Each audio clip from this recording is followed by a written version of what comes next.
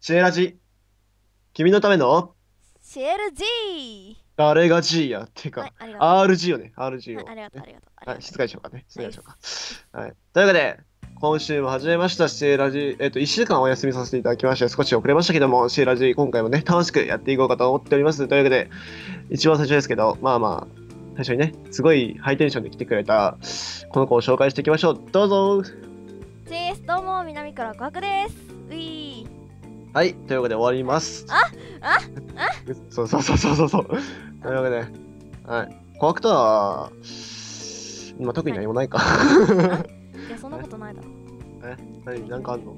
なんかあんいや、特になんもなかったわ。じゃあなんで今日来たんゲスト？知らねえよ。お前よ呼ばれたよ、俺。あ、呼んであげたよ。ありがたくお前。あ、あ嬉しいな、嬉しいな。動画では初めてか。ふ。ですね。案外。へえ。ねへえじゃねというわけで、まあ雑なえ。感じですけども、えなんでフリートーク始めるぞ。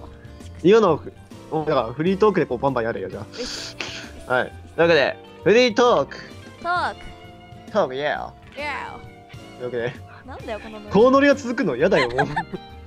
もうちょっぱな嫌だよ。まあ、そんなこと言ってよ。というわけで、フリートーク、今回はですね、バレンタインデーについて、というわけで、僕あれか？バレンタインデーやっぱ男子にあげたいだとかなんやかんやは、もうね、もうね、私ね、あの、隣のクラスの山田くんにね、ちょっとね、誰だよ山田って。わかんねえよ。いるかもしんねえから突っ込みづらいだろ。お前そのクラスのや隣にいるかもしれないからわかんねえだろ、お前。いねえわ。あいやと、うちの学年に山田くんいないわ。山田くんねって誰だ？で、何？あ、あげてない時には？女の子同士でね、まあ、友チョコウィーってあげたりはしたけど、えー男子にはあげないかえー、すごい。ら。最近ではあ？男子から女子にあげる逆チョコなんてものもあったりだとか、ああ、まあ、男子から男子にあげるホモチョコなんてものがあったりだとそれは素か。敵な、素敵なものが。はい、静かにしよっか。はい、というわけで。えーっと、フリートーク、バレンタインデーについてですけど、コメントが来ておりますので紹介していきましょうか。えー、ルンルンネーム、ゼリアルさん。えー、黙れ。バレンタイン、えー読むぞ。バレンタインは悪夢だと思ったり、バレンタインデーはない怒りというわけで、ね。まあまあ、そう思う人も多いでしょうね。まあ、リア充のイベントですからね。洞窟だから、ねあんなもん。見てて吐き気がするわ。あ、察し。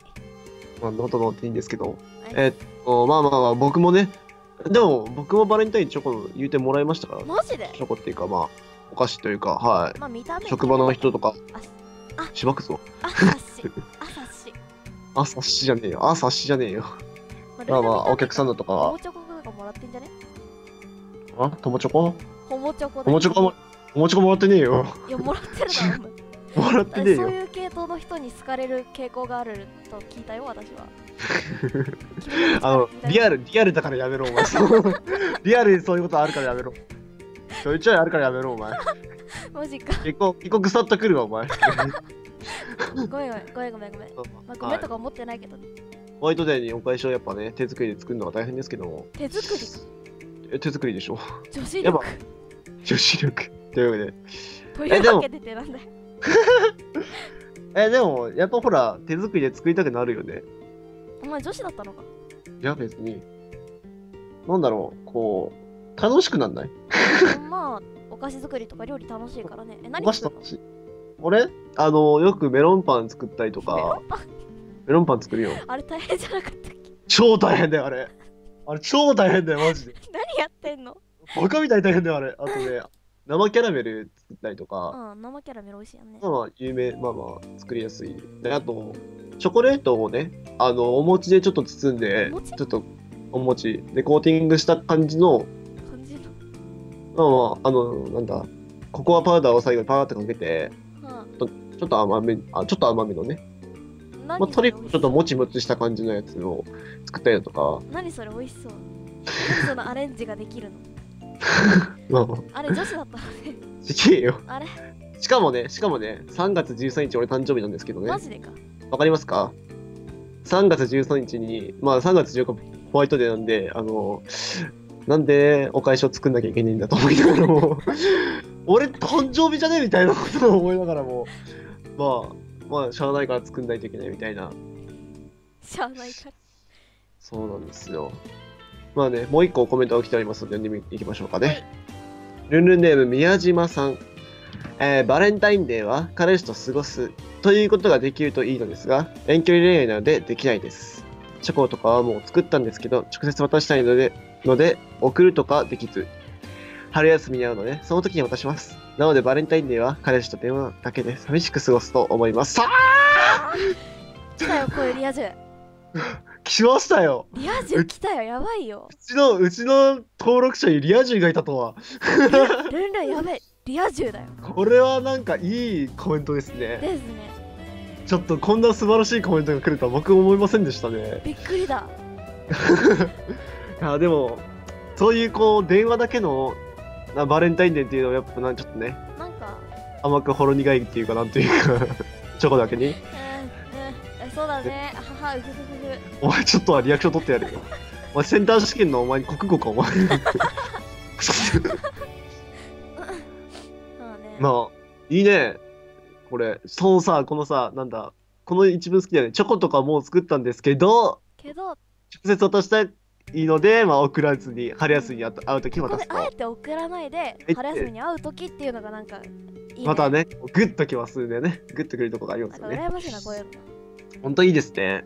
ちょっと一本のドラマが作れそうな勢いですよね。おめでとうございいいよな、これ。まああ、というわけで、コメントは終わりましたね というわけで、次のコーナー行きましょうか。早いななんか話したいことあるんだったら言っていいぞ。え特にないけどさあないのね、オッケー、わかった。はいはいというわけで、続きまして、おすすめおすすめおすすめというわけで、今回はですね、あのとりあえずコメントから読んでいきましょうか。はいえっ、と、ルンルンネーム、新井健太郎さん。レバズです。ありがとうございます。えっ、と、僕のおすすめ漫画は、フェアリーテイルです。主人公がいろいろな魔法を使ったり、ギルドクエストなどをこなしていくというお話です。魔法を使ったり、アクションが面白かったりで、とても楽しいので、ぜひ読んでみてください。というわけで、おフェアリーテイルですね。フェアリーテール来ましたねフェアリーテイル、あ、でも俺は、あれだな、あんま読まないかもな。あ私フェアリーテール好きなんよあの、あれだっけ？あの、なんか、いなんっけ、鼻が人参みたいな、あの、ゆゆき太郎いないっけ？あれフェアリーテイルねあれだよね。鼻が人参みたいな。鼻が人参みたいえそうなんか雪だるまの体がめっちゃ細っちくって鼻鼻が人参人参みたいな。鼻が人参。あれのイメージがありますけど。でも、フェアリーテイルって昔からこうやああるイメージがそうだね結構、ね、アニメとか結構多い気が。やってて今もやってんのかな？今はやってないかえー、そうなんだ。うんフェアリーテイルか。うん、うん、面白いよへえー、かっこいいしかっこいいんだ。何とりあえず一番好きなキャラクターは？うんやっぱね夏かな主人公。ああ、そうなんだ。ようわからんけど。なんか魔法的なもの使えるの？そうそうそうそうほうえなんかあの夏はねなんかドラゴンにあの滅流魔法を教えられたっていう、なんかちょっとぶっ飛んでー、ちょっと、ああ、そうなんだ。なんかドラゴンが自分を殺すための魔法を教えたような感じに。な、なに、その、なんか、計画的な自殺？危なっかしいことをしますね、また。というわけで、フェアリーテイル、ぜひぜひ読んでみてください。えっ、と、連載はどこだったっけな？あれ、ガンガンか？ちげえや。マガジンっけマガジンか。あ、月刊マガジン読んでみてください。というわけで、えっと、今回はですね、私たちはおすすめの携帯アプリを紹介していこうかなってなんて思っています。はい。どっちからいい？どっちからやるえ？俺はおい。俺はこのラジオ収録する前もやってたんですけど、ドラゴンクエスト、え、ドラゴンモンス、ドラケモンスターズか。ライティングなんとかかんとかっていうやつなんだけど、最近流行ってるそうそうそうそう、あれ面白いですよ。スクエアエニックスさんが作ってるやつなんですけども、あのー、クオリティがすごい高いですよ、とりあえず。やばい、あれ普通にゲームで売れるぐらいの勢いなんですけど、うんうん。あの、昔ほらゲームボーイであったさ、ドラゴンクエスト、イルの冒険だあったあったあった懐ドかしいモンスターズか、ああいうのとか、あの、今だったらテリーのワンダーランドとか、ああいうのが、のちょっとね、彷彿させるような感じのゲームで、まあまあ、あの、ガチを極めましたよね、あの時は、あの時代は。俺のパーティーだって竜王とシャンタクとなんだっけもう一匹。えっ、とねもう一匹はねあれだグレンデルだ。やべすっげえ懐かしい あのねすんごいあれ極めたよねあれさあのやりすぎてさあのあれってほらあの地図をさこう歩いてる人とさち小さなメダルとか落ちてんじゃん。ああらあら落ちる落ちある。の小さなメダル集めるとほら卵がもらえてさね。魔王の道具がもらえたりだとかダゴンの卵がもらえたりうんうん。したじゃんか。でさあのあれにさなんだっけ悪魔の使い違うわなんかあ魔王の使いだ。あ魔王の使いか。魔王の使いか。あのー、魔王族を作るのに結構重要なやつが の卵があってだね。あれをいっぱい取りすぎてせいでさあのどのどの世界に行っても小さなメダルが落ちてないっていう現象が起きたんだよね。俺途中小さなメダルが全くないんだよ。びっくりするからね。やり込みしすぎたな。おびっくりした。あれ？小さなメダルが全然落ちてねえと思うんだねびっくりだよ本当に。そう。あれはねでも面白いですよ。ぜひぜひえっ、とドラクエモンスターズはしかも結構レアキャラもね今最近のボスキャラが出てきたりだとか。あのなんだっけあいつは。レオコーンか。ン。ドラクエ9の騎士黒騎士。あいつはかっこいい。あいつはかっこいい。でまあまあすごく面白いですよ。言ってあの本当に。私一番最初に引いてくじで出てきたのが虎男だから。ねあ俺俺さっき引いたやつあれだったわ。東大タイガーだった。びっくり。虎男。トラ男。まあでも案外強い。よあいつ強いよね。では紅白は？携帯アプリ。私はねあの最近ねハマってるやつなんだけどあの「イニシエの女神と宝石のいて」っていうアプリがあってですねまたなんかおしゃは、うん、iPhone だけのやつだったんだけど最近 Android とかでも出してだね。うん。でまあなんだろうね。どっちかというとこれはパズドラに近い感じのパズルゲームなんだけどまずねキャラがめちゃくちゃ可愛いのよ。ほえー、うんなんかセクシーなのもいればすげえロリッコもいたりだとか、ロリコンロリコンがいいのね。ロリッコロリッコロリッコ。ロリロリロリがいい。のロロリがいいリコン。ロリはい。ロリコただあの私のパーティーの中に一人だけすっげえジジイがいるんだよすっげえセクシーな人なんかすげえロリなんか大人びたセクシーな人あ。ジジイっていうこの。おかしいおかしいおかしい。一人ハーレム状態になってる あの一人本当にねすっげえ渋いジジイが混じってた。それ面白いな。うん。面白いな。へこれねほんとねおすすめ。楽しいし。え。ー、限定クエストとかでね出てくる、あのまあねキャラクターもめちゃくちゃ美人だし。おでー女の子キャラが主役主役っていうかまあある。シューっていうか。そうそうそうそう。でちょいちょいジジイがいたりとか。ジジイがちょいちょいいたりだとか。あとあのこれねなんか小説みたいなのが入ってるんだよ。でそれで、第1話読んだわけですが号泣ですわ。あーえー、そうなんだ。めっちゃ感動した。っうていうくらい面白いっていう。なるほど、ゲームえです。ー、ちょっと面白そうだな。うん。な名前なんだっけ？あの、イニシエの女神と宝石のいてって。イニシエの女神って入れたらすぐに出てくるかな。なるほど。じゃあ詳しくはイリシの女神で検索してみてくださいねちょっと別物だねそれは。それ別にルレームさんがちょっとまあちょっとね準備とちょっとね。ね次行こうか。続きましてもしも〇〇なら。なら。もしも〇〇なら今回のお題はですねもしもお互いの中身が入れ替わっていたらというわけで俺が琥珀になっていまして琥珀が俺になる状態ですわ。キモああしばくちょっと口が滑ったゲフンゲフンどれどうします？えどうする？どうする？女の子はべらかす？しばくぞ。なんてことも。女がやらかす。俺でできるかどうかは不安だわそれお前。いや大丈夫。ルンルン見た目だけはイケメンだかしばくぞだからお前。ら中身ゲスだけどね。お前な。ただの G だけどね。誰が G やねありがとう。はい。それどうします？はべらかすでいいのか？はべらかすお前そんな答えでいいのかお前。じゃあ何ルンルンのお気に入りの服を引っ張り出してきてうんこの中にタイムする。ぶち殺すぞ。おいやろ えー、ダメ？ういろいろと全米がびっくりするわお前。ルンルンはなんだよ？琥珀か。あお前そお前はあれだ徹夜とかよくするじゃんか。うやね。だからとりあえずすげえ休養させるで。なななんだ お前。お前お前お前いい子ぶってんじゃねえぞ。何か？お前いい子ぶってんじゃねえぞ。いつものゲス野郎はどこ行った？いや別に。いやいや。それかあのねまあまあね某弟くんたちと仲良くね。どうせいつもいじめてるんだろうから。なんてことを言うんだ。いやまあいじめてるけどどうせいつもいじめてるんだろうけどなんか腐ったなきま すひどいやつだな。あたまには優しくしてあげるっていうことをねしてあげようかなっていう、はい。でまあ入れ替わる瞬間にとりあえず何かしらどでかいことをするね。なんだよどでかいことって。うんこかな？言うなれば学校に落書きしてい入れ替わるとか。でかいかそれはいやいやでかいってあれだぞあのみ廊下を水浸しにしてからこうねあの悪の花みたいな感じにしてから怖くと入れ替えって。てことをす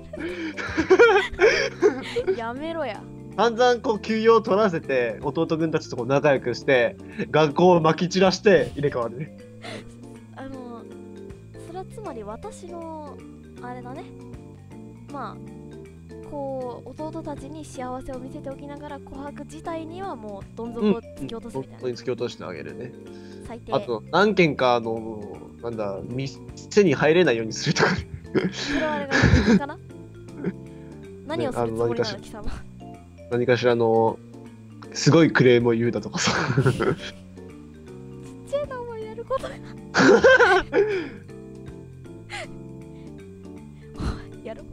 あと知らん男に告白するとかね。やめろやそれ。それ一番嫌だわ。だったらあれだ私だってシエルの体であれだぞ。おかまに告白して。やめろ。お前お前も出会い系サイトにお前登録しとくわ。やめろや。必要ねえわ。なんだそれ。なんだそれ。あの、B、BL の掲示板に登録してたけバクぞ。というわけで雑な答えしか返ってこなかったですね。両方雑な答えしか返ってこなかったですよ。ったね。雑でしたね。なガキでも思い浮かばねえわ。本当に。くだらね食ったらねえわ。続きましておこだを今だわ。え 今だ。おっこなの？おこじゃねえけど。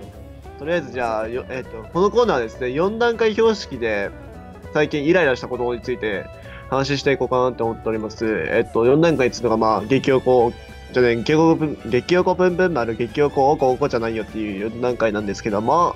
なんですけども。今回まあまあコアクちゃん何？アイドルコアクちゃん。何のことかな？まあまあ黒歴史ですね。えっと。うん。黙れよ。じゃあとりあえず最近おイライラした話なんかありますか？イライラ話したした話ね。うん。えわかんないね。うん黙れようるせえよもうイライラならもうルンルンに何度も何度もされとるわ。まあただねそんなルンルンでもわかると思うんだけどさなんかこう普段さこう会議とかでいじられキャラの時ってさなんかこう、愛のあるディスをよく言われるじゃない？たださ、まあなんかねよく言いますね。なんかゲ G とかポニーとか言われてんじゃんルンルン。うん。お前の場合はクソ野郎とかなんか、まあ、とりあえず、うあの、うんこ系のね、食らいますあんた、うんこ系ディスってなんだよ。なんでそれ、お前、そこ、1、一シリーズいっちゃったの？それ。なんなの？それ。ねいや、ね、まあ、そういうふうななんかディスがありますけどね。あんまり、何、まあ、い言ってもらうのは別に構わないんですけど、あんまり絡みのない、仲良くない人に、なんかそういうの言われると、ちょっと、イラッとくる時がたまにあります。あるね、わかりますよ。はい。そういうのなんでしょう。ネタ勢じゃないんだけど、ネタ勢みたいになっちゃってるから、まあ、ネタ勢なんだけど。で、あのね、そうだね、ツイッターとかによく多いですね。ね、そういうことは。うんうん。まあ、僕は言うてツイッターをあまり開かないタイプの男の子なんで。おはみーしかツイートしてないよね。おはみーしかツイートしない。おはみーと、あの、誰か通話できる人みたいなことぐらいしかつつぶやかない。だな まあね私あのつい追廃になりかけてる実況者なんでねね。まあ俺、追廃にもなってないのに実況ペースが遅い。実況。実況界のあのなんとらコンタラって言われてるよやめろ。H×H みたいな。やめろ。いろいろと怒られそうだ。ねとりあえず、だよね、わかるわ、それわかるわ。うん。うん。ままあ4段階標識で言うと、オポだね。おこだねその激おこまではいかないけど、激まあ、とりあえずおこまで行ったらなんかただのなんか短気な人だね。うん だとりあえず、見て舌打ちするぐらいかな。こいつみたいな感じまあ、俺の場合、は、またほざいてるよ、こいつと思いながら。何その中二病な感じの言い方さいや、もう、ね、勝手にすればいいんじゃないかなっていう、どうせ文字でしかお前らはそうやって俺をいじれないんだなって思いながらも、な別は小さいな、うん、思いながらね、ポケモンの厳選に育むわけなんですけども。厳選ばっかやりやがって厳選中ね。そうですね。まあ、とりあえず皆さんもツイッターについてはですね、気をつけてくださいね。ね。というわけで、僕が最近イライラした話なんですけどもは、いはい。僕はね、バイトをよくしてるっていう、まあ、バイト人間なんですけども、バイトマジまあバイトメガネ。言うんですけど、あの、僕のバイト、きまあ、時間っていうのが、く朝の9時から昼の1時っていうのが大半の、まあまあ、平均的なっていうか、基準なんですよ。まあ4時間、4時間、まあ半日ですよ。で、あのースーパーのレジをやってるんですけども、入れ替わるときにですよ、係を入れ替えるときに、あのー少しですね、帳簿といって、ちょっとめんどくさいんですけども、家計簿みたいなのの進化系みたいなのを、ど進化系まあ計算して、そのレジの中身だとかうんを計算して、そのプラスマイナスゼロが出るようにする作業をするわけですよ。で、計算、まあ、とりあえず僕、前商業科にいたんで、まあ、とりあえずできるんですよ。内容は大半できる。うん。うんできるんですけど、この前ですね、あのーそれの計算に必要な資料みたいなものが、まあ、レシートで出てくるんですよね、レジの。ガーって出てくるわけです。1個出して行ったんですけど、もう1個ね、出し忘れてたんですよ。あ、しまったなと思って出し忘れて行ったら、会計してたわけですよ。もう、あの、レジがもう並んでて、並んでてもうやってたわけですよ。で、あー、やべえと。あの、これ、あれなんですよ、レジが今いたら、ちょっと計算がまた狂っちゃうわけで、ああなるほどねプラスマイナスもかかってくるわけで、あー、やっちゃったなとか思ったら、あのー、まあ、合わないんですよ。どう考えて計算しても。すごく合わない。全然合わないんだよ。はもうね、マイナス8000円とか出てきてて、マジかはマイナス8000円とか思ってめっちゃ焦ってたんだって。それは焦るじゃん。マイナス8000だぞ。それはね8000焦るわは8000って言ったら、まあ、とりあえずゲーム機が新品のやつに2、3個買えるわ。やべえと思って、どうしようと思って、まあ、計算してて、やっちまったでねあの、やべえと思ってたら、あの、きさっきの計算で2000円使ってたわけよ。で、で、あの、マイナ、あの、2000円使ってるってことは、マイナスじゃんか。マイナス1万円だよ。うおーと思ったら、それもすごい焦るじゃんか。で、うんうんやべえと思ってたら、10万円回収っていうことがありまして、あの、まあ、とりあえず、なんて言えばいい？売り上げのうちの10万円を、今度の両替だとかなんかに使うための10万円回収っていうのがあるんですよ。で、それをしてたんですけど、11万円回収してたわけで。だから、マイナス1万円はその1万円だったんですよ。でこのミスって、俺のミスじゃなくて、まあ俺のミスもなんだけど、ジム側のミスじゃんか。言うてねなんですよまあまあ、俺のミスは言うて持ってきただけだから。でまあ、確認したのはあっちだから。で、ああ、もっと思ってたら、もうだって、過ぎてたんですよ。もう2、3時だったんですよ。その計算だけで。おいおいと思ったら、あの、もう、す正直イラ、おこですよ。もう今おこなんですよ。で、ああ、もうとか思ったら、あの、ジムのね、人にね、なんとかいけないんだしって言われて、よくあるやつだなくっそやろうと思いながらも、まあね、イライラしながら帰ったっていうのがあるんですよ。あんまイライラしてたらハゲるよ。うるせえ。ほんとね、1週間に1回おこの話をしてるって相当すごいよね。構イライラ溜まってんねルンルンね。でもこれは相当イライラする話ですよ。まあねえ、まあ、自分のミスがあったとはいえねどっちかって言ったら自分側の方がミスは大きかったわけであって。ねえ。それでねルンルンのせいだよって言われたらそりゃふわーってなるよな。なるほどな。というわけで何段階ですか？激おこくらい？おなんじゃないおまあでも僕のミスもあるからっていうのはやっぱあるのかな。うん。なるほルンルンのどミスなしだったら違う。プンプン丸までいい。あれだね俺ももうインフェルノだねとりあえず。あ俺関係ねえじゃんって。て。いう感じでね。お前ふざけてんのかって。俺そんなさあのずっと通話してると思うんだけどさあのライアーとかで。じゃあねそんなイライラしてる俺を見たことないでしょ。言うて。そうだね。あんまりイライラしてるというよりはなんかみんなにいじられてハーハーしてるような変態ゲフゲフおい。で人狼とかでもほらまあまあ言うてそんなにイライラしないでしょ。うん。ムカつくとあの逆にイライラささせられることは多いけど。あれはもう得意分野だからもう。あほんとすっげえこいつの話イライラするんだな。聞いてる。みんなに言われて黙れ黙れよって ちゃんと理論を言ってるまでなの場を荒らすなっていう場を荒らすなっていう。まあお前に言われたくないけどね何のことかな。まあまあそんな話置いといて。次行きましょうかね。はい。私、エール Q&A。これがですね、まあ、シエラジで、まあ結構、まあまあ結構反響を呼んでるコーナーなんですけども、マジか。相談室とっております。はい。私、エール Q&A。はい。何か私に相談することがございますか？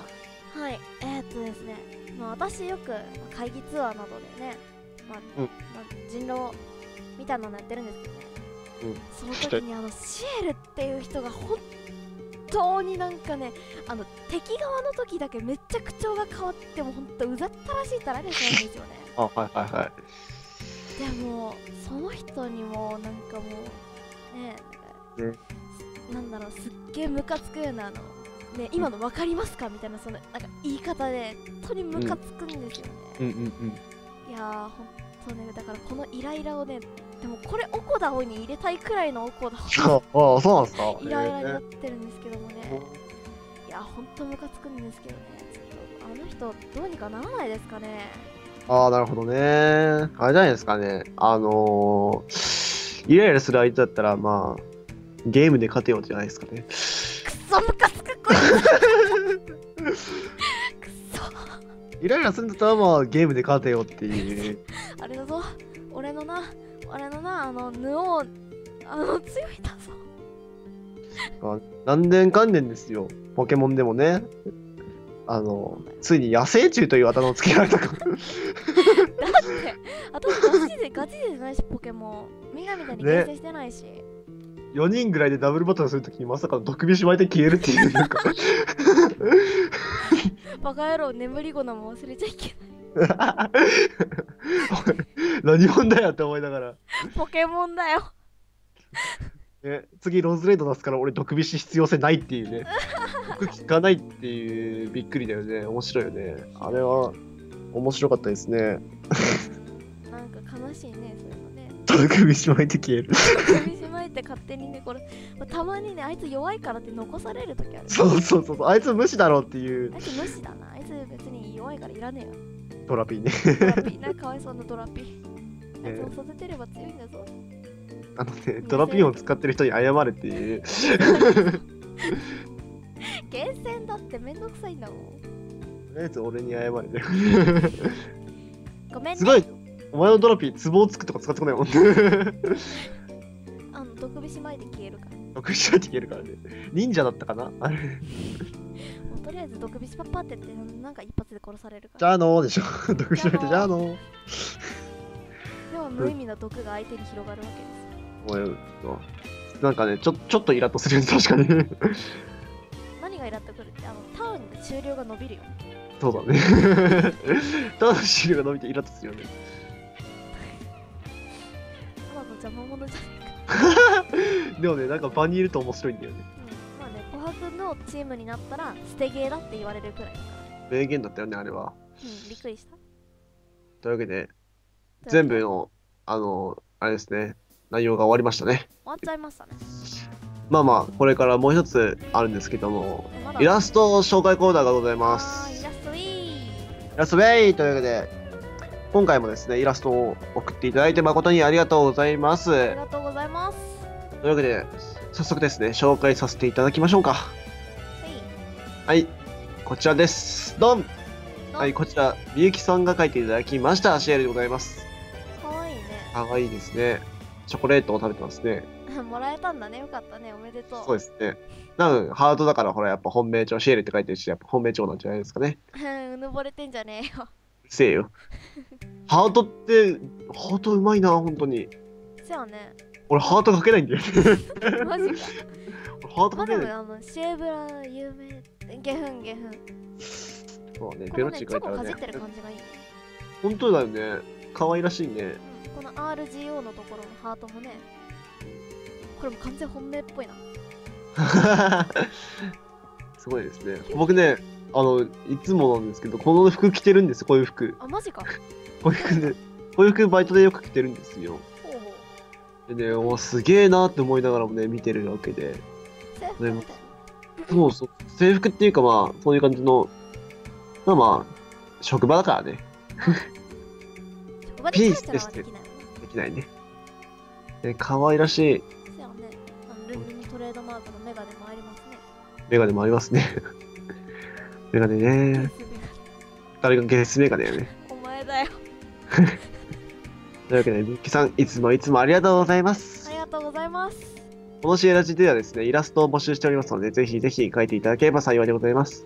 まあ書いてやってはいえっ、と、まあ、書いていただいた方は、ツイッターの方に書いて、えっ、と、なんて言えばいいんだ、あれは。リプ？リプか、リプを飛ばしていただいたりだとか、 Skype の方に、えっ、と、てとテイヤーとしていただいたりだとか、あとは、こちらの方のコメントに URL 貼ってくれたりとかできるよね。できるできる pixiv とか、あの、なんやかんやかんで。で、ぜひぜひ、ね。あ、 pixiv もやってるんで、ぜひそっちにも送っていただいたりしてくれれば幸いでございます。このね悲しい悲しいルンルンにね一はい枚の素敵な素敵な絵をまあ、素敵な素敵な絵をね、募集しております。というわけで、コマクちゃん、全部終わったよ。マジでかまあまあ、でも終わったんだけど、だけど？ここから、えー、っと、まあ、コマクちゃん、宣伝、気持ち悪い、ライブ、うん、アイドルコマちゃん、ちゃんってやめて。やめてキモい。おい、うんこ野郎、早く。あなんだよ。なんでそっちの方が慣れてるなんでそっちの方が慣れてるいいわ。おかしいだろ。まあまあ、はい、小分け、はいはい。宣伝あるんだったらぜひぜひ言っていただける。はい。いや私ね心が広いからね心広いいや綺麗だからねいや宣伝なんていうことはえっとどうもえっと YouTube の方で実況やってますよかったらねあの南倉琥珀と検索してねあのホラーゲームあの結構やってるんでよかったらねどうぞどうぞまあ宣伝なんていうことはしないっていうねしてるね。うん、してる。科学何のことかな？100%してるね。え、うん何のことかな？ちょっと何宣伝2000%だったね。宣伝2000%だったね。もうね、君たちにね、もうね、ととても素晴らしい、あの、笑いと、うざさを提供するよ。あの、おすすめは琥珀クラフトですね。あマインクラフトね、マインクラフトの実況でね、ワークラフトやってますよ。あれ面白い。操作がツボらしい。面白いね。たまに、たまに。気持ち悪いよ。どうした？キャラキャラが違うじゃん。頑張れ。はい、今回、と、えーっとですね、今度、えっと、次回のフリートーク、もしも〇〇なるのお題を決めていただこうかと思っております。うん。あーんじゃねえよ、雑だな。とりあえずフリートークどうします？フリートーク？はい。フリートークね。と、うん。フリートーク？フリートークなんだから何でもいいんじゃないかな。うん。すまくさん。お題を決めろ、おい。そうだね。ほら言うなれば、もうひな祭りだとか、ひな祭りか。卒業式も近いですね。来週の時間はそんぐらいですかね。なんかありますか？じゃあひな祭りにいいんじゃないかな。雑はい、まあ、雑。ひな祭りの思い出？ちなみに怖くなんか思い出は？あ、ひな祭り何それ？美味しいの。お前女の子だろ？お前女の子私本当にさ、ひな祭りとかやったことないんだよね。嘘だろ？ほんとほんと。え、ひな人形とか飾ったりとかしない？ないないないないない。えひなあられ食ったりとか？ないないないないないないない。あそうひし餅とかは？ないないないない。コンペイトーは食べた。コンペイトー関係ねえよ。一切関係ねえよ。何一つ関係ねえよ、お前。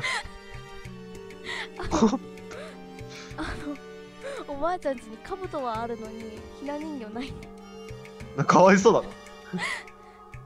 折り紙で作れ。折り紙で作れました。私折り紙苦手だから作れない というわけで、フリートーク。まあ、女性かもな、ひな祭りって言ったらやっぱ。じゃあねまあまあ。男性呼ぶのもいいかもねまあまあ、それもありだね。というわけで、ぜひぜひコメントしていただければ幸いです。次、もしも〇〇なら、まるまるなら。何？何すんの？そうな、お題お題。お題？じゃああれじゃない？まあね自分の体がねある日突然異性になってたらみたいな感じでいいんだ。あ、それこの前やったわ。マジでかやったんか？つら。辛くねえよ。つら。ね。はよ、はよ。はやはやって言われてもこういうこういうの私苦手なんだよね。さらっと決められないんだよねはい。今なんか考えた時に浮かんだのがファブリーズだあ、じゃあ、ファブリーズ行こう。あ、ファブリーズ。もしもファブリーズならこの前ケチャップだったから大丈夫、大丈夫。ちょうどさあの自分のさ隣にファブリーズが置いてあっはい、というわけで、えっ、と、来週のこの時間、フリートークは、もし、えーもしもじゃねええフリートークはひな祭りについてで、もしも〇〇なら、もしもファブリーズならというわけで、僕はもしもファ、もしもファブリーズだったらどうする？ファブリーズだったら私あのあ私あのファブリーズよりリセッシュ班だよねあ、マジで？俺あれだわ。フレグランス派だわ。あーファブリーズ関係なくなった 謝れ。ごめんなさい本当に。SK に謝れ。ごめんな S10 にマジ謝れ。もう。まあいいやだったらあのふわりお日様の代わりになりたいかなああ、わかるわかる。私うんこだから臭いからさ とりあえずあれだね。布団乾燥機だね。